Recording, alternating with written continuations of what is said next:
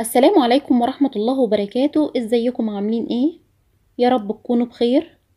هعمل معاكم النهاردة فيديو جديد وهعمل فيه إعادة تدوير للإزازة دي. أول حاجة جبت إزازة الديتول وغسلتها كويس جدا. ما شلتش اللزقة اللي عليها عشان أنا بعد كده هغلفها كلها بالخيش. وبقص الجزء اللي فوق كده بالشكل ده. والزيادات اللي فوق دي كلها بسويها كده بالمقص. بعد كده جبت خيش. الخيش ده أنا بشتريه من محلات اللي هي بتبيع مستلزمات التنجيد زي ال fiber والإسفنج والحاجات دي. حطيت شوية شمع صغيرين على الإزازة وثبتها كويس قوي كده على الخيش وبغلفها كده بالشكل ده. أنا عايزة أغلفها من قدام ومن تحت ومن الجنبين. الحتة اللي ورا دي مش مشكلة بخليها كده زي ما هي. والزيادة اللي فوق دي كلها بدخلها على جوه. وجبت استرس والإسترس ده بيتجاب من محلات الخيوط والكلف. بشتري المتر بعشرة جنيه. قصيت كده حتة ولزقتها كده من فوق على الإزازة ودي بلزقها كده من تحت بالشكل ده. وحطيت صفين من اللولي كده بالشكل ده. بعد كده جبت قطعة كرتون العرض كده خمسة وعشرين والطول تلاتين خمسة وعشرين في تلاتين وقصيت كده خيش على قدها وبثبته كده بالشمع.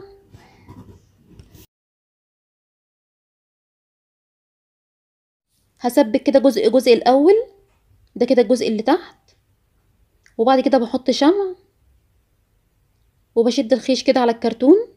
ولو الكرتون عندك ضعيف ممكن تحط طبقتين على بعض. بثبتهم كده بالشكل ده.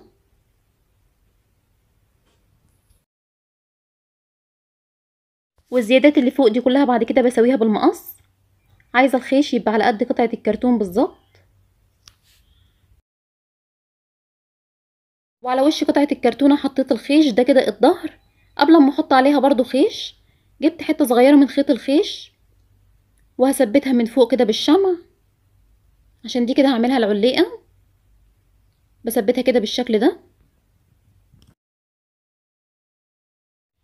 وهبتدي إن أنا أغلف الظهر ده كله بالخيش بالطريقة دي كده.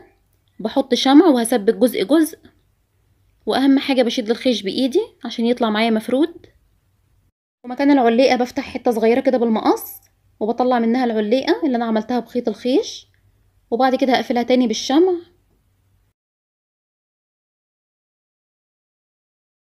وهكمل كده بقية الخيش بالطريقة دي بحط شمع وبثبته كويس. والزيادات دي كلها بثبتها كده فوق الخيش. من عليه كده من فوق.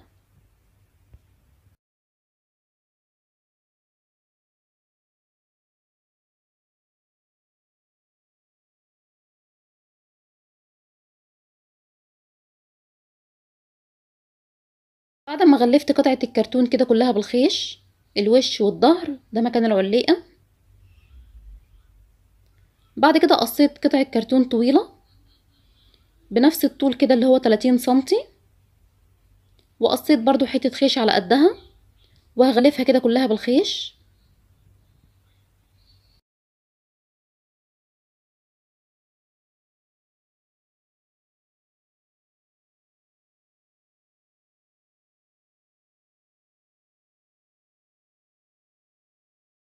بعد ما غلفتها كده بالخيش قصيت حتة من الاستراس. هغلفها كده كلها بالاستراس. بحط شمع وبثبت قطعة الكرتون دي عليها. كده بعد ما غلفتها بالاستراس أنا عملت واحدة من هنا اللي هي الطول من هنا وده العرض ومن الناحية التانية وده الطول. بس قبل ما أثبتهم بالشمع هثبت الإزازة دي. بحط على ظهرها كده شوية شمع. وبثبتها كده كويس جدا. بضغط عليها بس عشان أتأكد إن هي مسكت كويس قوي في الخيش. وبعد كده هبتدي إن أنا أثبت دول.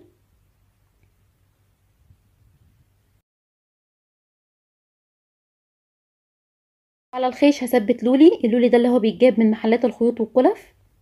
هثبته كده على الخيش بطريقة عشوائية. هحط عليه بس كده كام واحدة. وهحط في الإزازة ورد. وبعد كده هعلق لكم التابلو ده وهوريكم هيبقى شكله إيه.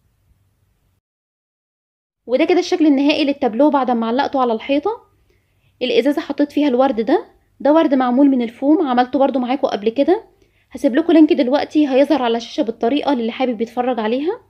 وما تنسوش تقولوا لي إيه بقى رأيكم في التعليقات. الفكرة دي فكرة بسيطة جدا وفكرة سهلة فكرة مش مكلفة. أتمنى بجد إن الفيديو بتاع النهارده يكون عجبكم والسلام عليكم ورحمة الله وبركاته.